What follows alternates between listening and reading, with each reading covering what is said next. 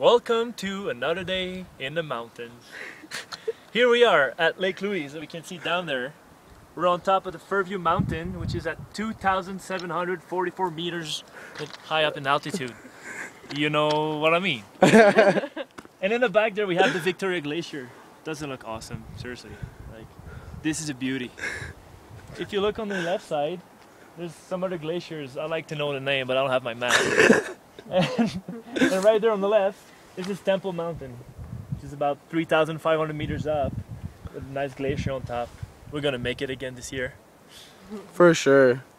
And we have the lovely Marion, Mallory, our host Sam, and myself. Have a good day.